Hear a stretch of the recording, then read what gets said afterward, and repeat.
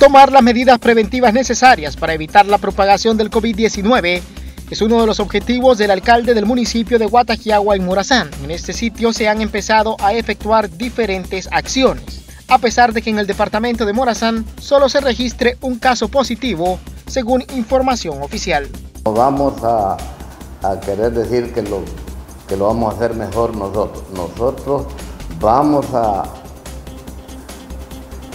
a implementar algunas ideas para mejorar lo que sí ya, ya tenemos, que es lo que en los decretos de nuestro presidente. ¿Qué es lo que han estado haciendo por la comunidad? Me comentaban de víveres, ¿qué más han estado haciendo? Bueno, lo que hemos estado haciendo nosotros es este, prevenirle a la gente que se que cumpla o que obedezca las indicaciones que nuestro presidente El edil también manifestó que han realizado la entrega de diferentes paquetes alimenticios, los cuales contienen frijoles, arroz, aceites, entre otros, a la familia de escasos recursos. Vale recordar que Guatajiagua es considerado uno de los municipios más pobres a nivel del país.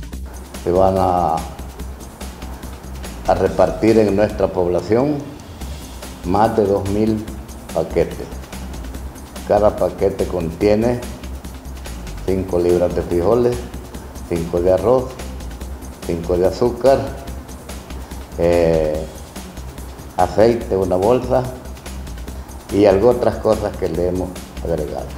Así es que el día de mañana terminamos de darle a la gente ese pequeño alivio, porque lo hemos hecho a nivel urbano y también en los cantones. Hoy, este momento, andan en el cantón Mayguera. Mañana vamos para el volcán y Pajigo arriba. Guatajiagua conecta con el municipio de Chapeltique y con el municipio de Yamabal.